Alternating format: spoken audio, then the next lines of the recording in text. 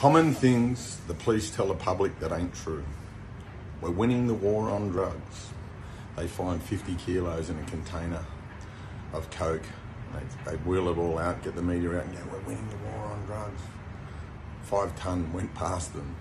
Tell, try telling the parents of someone who've lost a kid to an overdose that they're winning the war on drugs.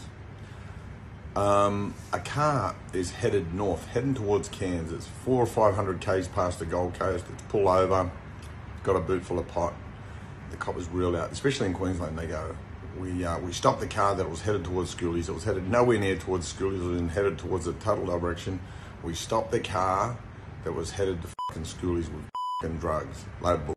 And they every time they roll it out every year. Um, in robbery cases, they go, he, uh, the perpetrator, pointed a gun to a woman's teller's head or a, a, worker's head when there's not even a mention of a gun in it. I know it's, it's happened to me. They, I do it immediately. He pointed a gun, and in the brief it says no weapon was seen. So there was no, none of the none of the people in the bank or whatever mentioned about a gun being pointed at their head. I get it all the time. I get it from people in comments. You pointed a gun at someone's head. No, I fucking didn't. You're reading the wrong book, mate. Get off the True Crime podcast and have a cracker of a day.